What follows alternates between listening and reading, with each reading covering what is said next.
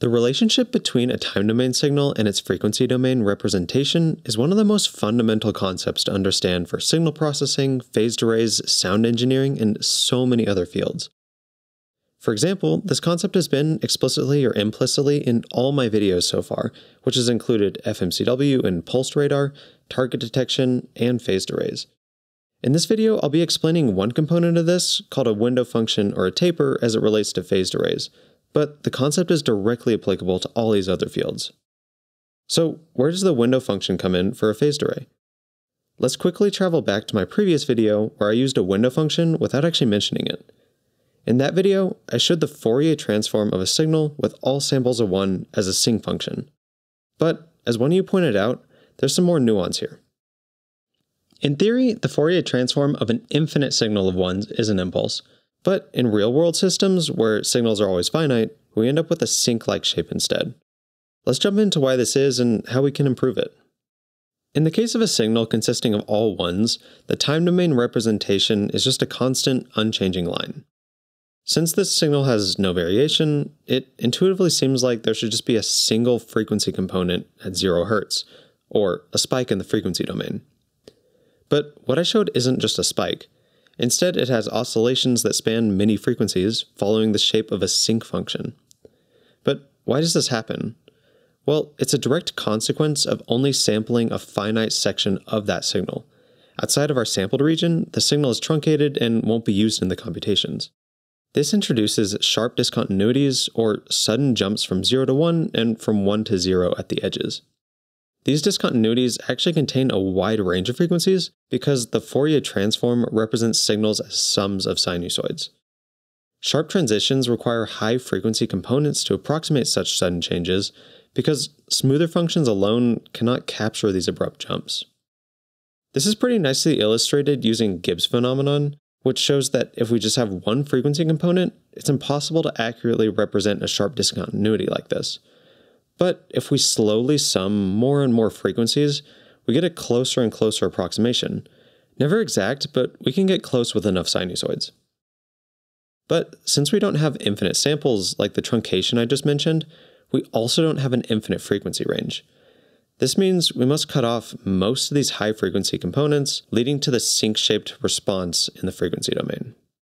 This is exactly what's happening when we compute a phased array's array factor, or how a phased array antenna behaves in space. Since the array antenna elements exist in the real world, you can have a lot, but it's impossible to have an infinite number of elements.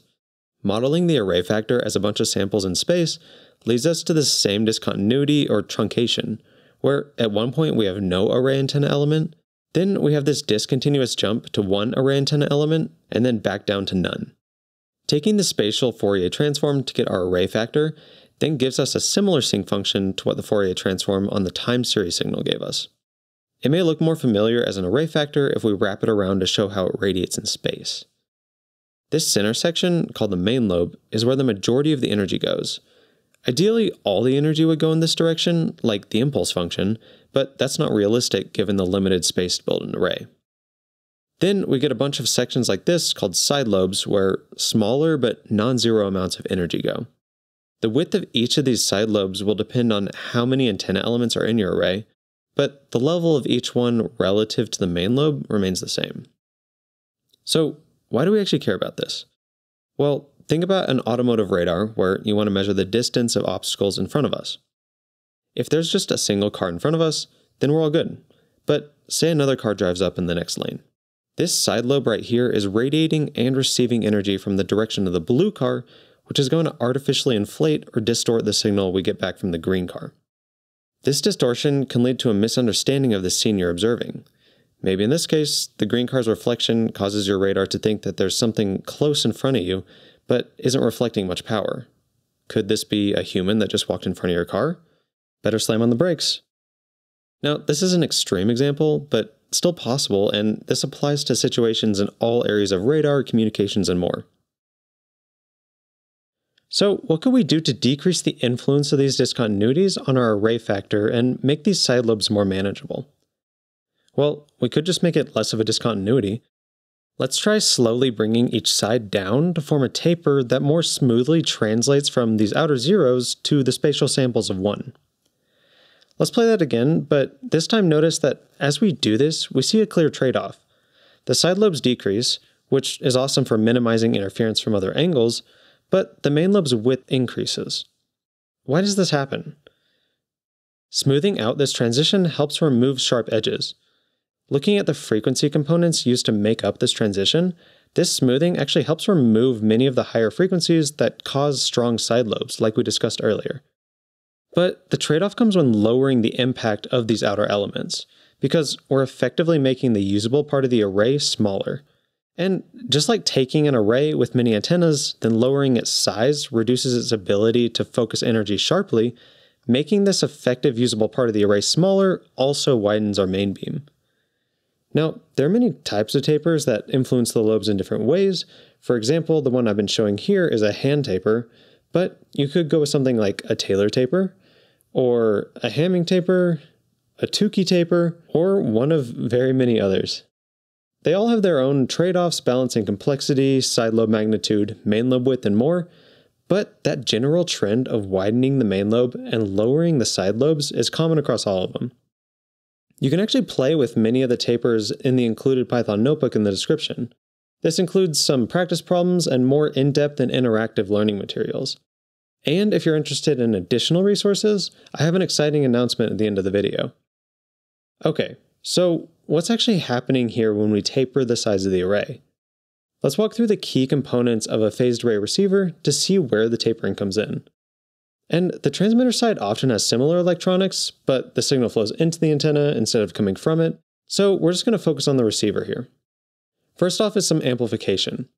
Since the received signal is typically very weak, it first passes through a low noise amplifier, or LNA, to boost it while minimizing the additional noise. Filtering. A bandpass filter then removes unwanted interference and noise outside the frequencies we care about, which will ensure a cleaner signal phase shifting. This is a really interesting part where we can adjust each of the element's signals individually, which allows us to electronically steer the beam. I actually covered this in my last video, so if you haven't seen that and you're curious, you can check that one out. And then we have some attenuation. Finally, we use these attenuators to control the amplitude of each element signal. This is critical for shaping how the array radiates in space.